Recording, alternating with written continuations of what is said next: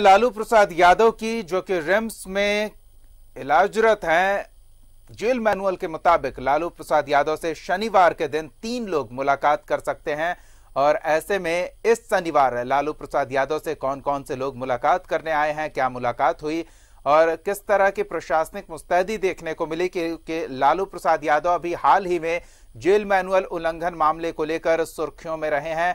और आरोपों का सामना करना पड़ रहा है। सरकार को भी तो ऐसे में कोर्ट में ये मामला चल रहा है। हमारे सहयोगी सनी हमारे साथ जुड़े हुए सत्यव्रत का सीधे रुख करते हैं और उनसे जानते हैं कि आज जेल मैनुअल के आधार पर लालू यादव से तीन लोगों को मुलाकात करने की अनुमति मिलेगी। तो क्या ताज़ा जानकारी मिल पा रही है सनी? नहीं, देखिए, बिल्कुल सही कहा आपने कि जेल मैनुअल के तहत तीन लोग जो हैं, वो राजद सुप्रीमो लालू प्रसाद यादव से मुलाकात करते हैं। शनिवार का दिन निर्धारित किया गया है और आज शनिवार का दिन है। लालू प्रसाद यादव के लिए शनिवार का दिन बेहद खास होता है, क्योंकि मैं आपको दिखाता हूँ कि मेरे पीछे रिम्स के इसी पेइंग वार्ड में फ़िलहाल लालू प्रसाद यादव अपना इलाज करा रहे हैं और हर शनिवार को लालू प्रसाद यादव से मिलने के लिए रिम्स के इसी पेइंग वार्ड में बिहार, झारखंड के अलावा देश भर से जो राष्ट्रीय जनता दल के नेता हैं, जो लालू प्रसाद यादव के प्रशंसक हैं, वो पहुँचते हैं लालू प्रसाद से मिलने के लिए और लालू प्रसाद यादव हर शनिवार को इसी रिम्स के पेइंग वार्ड में अपना जनता दरबार लगाते हैं और इस दरबार में लोग हाजिरी लगाने पहुँचते हैं। फ़िलहाल पंकज, मैं आपको बताऊँ कि आज लालू प्रसाद यादव से मुलाकात करने के लिए सीतामढ़ी के रुन्नी सैदपुर की पूर्व विधायक हैं मंगीता देवी। वो पहुँची हैं लालू प्रसाद यादव से मुलाकात करने के लिए। साथ ही शिवहर के पूर्व राजद के लोकसभा प्रत्याशी थे फैजल अली। वो पहुँचे हैं लालू प्रसाद यादव से मुलाकात करने के लिए। और साथ ही प्रेमचंद्र गुप्ता राज्यसभा सांसद हैं। झारखंड के भी सांसद रहे हैं। फ़िलहाल बिहार में राज्यसभा से सांसद हैं।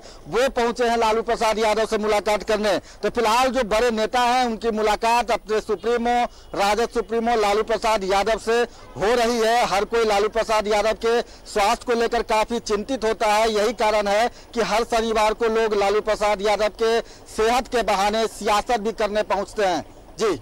बिल्कुल लेकिन सत्यव्रत अभी हाल के दिनों में ये मामला काफ़ी विवादों में रहा है। जेल मैनुअल के उल्लंघन को लेकर कोर्ट तक ये मामला पहुँच चुका है तो ऐसे में प्रशासनिक मुस्तैदी कैसी देखने को मिल रही है, ये भी जानना चाहेंगे। तो देखिए फ़िलहाल जो रिम्स का पेइंग वार्ड है, वो जेल मैनुअल के तहत जो सुरक्षा कर्मी होने चाहिए, वो लगातार मुस्तैद हैं। करीब तीन लेयर का सुरक्षा व्यवस्था लगाया गया है। जब कोई व्यक्ति लालू प्रसाद यादव से मिलने के लिए पहुँचता है तो सबसे पहले उसे रिम्स के पेइंग वार्ड के मुख्य द्वार पर जो भी सुरक्षा जाँच होते हैं, उससे गुजरना पड़ता है। उसके बाद रिम्स का जो पहला फ्लोर है, जहाँ मेटल डिटेक्टर डोर लगा है, वहाँ सुरक्षा कर्मी मौजूद रहते हैं। वहाँ सुरक्षा घेरे को पार करने के बाद, तीसरे सुरक्षा घेरे के बाद लालू प्रसाद यादव से मुलाकात होती है। फ़िलहाल आपको पता है कि पिछले कुछ दिनों पहले लालू प्रसाद यादव रिम्स के निदेशक आवास, यानी कि केली बंगले में थे, और वैसे में लालू प्रसाद यादव पे जेल मैनुअल के उल्लंघन का जो मामला है, वो दर्ज हुआ था। लालू प्रसाद यादव मोबाइल फ़ोन से बात करते हुए जो है उनका एक वीडियो वायरल हुआ था। साथ ही लालू प्रसाद यादव का एक ऑडियो वायरल हुआ था, जो सुशील मोदी ने वायरल किया था, जिसमें लालू प्रसाद यादव जो पिरपैती के विधायक हैं लल्लन सिंह।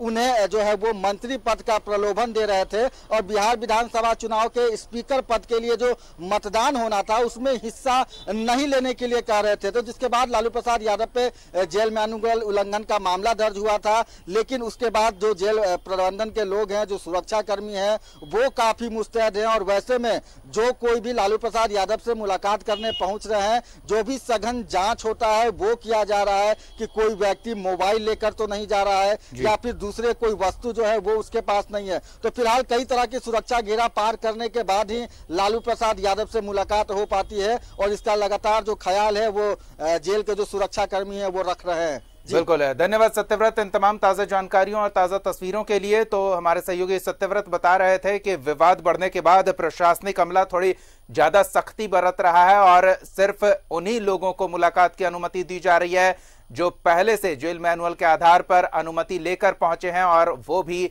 कड़ी जाँच पड़ताल के बाद ही उन्हें भी अंदर जाने की अनुमति मिल रही है।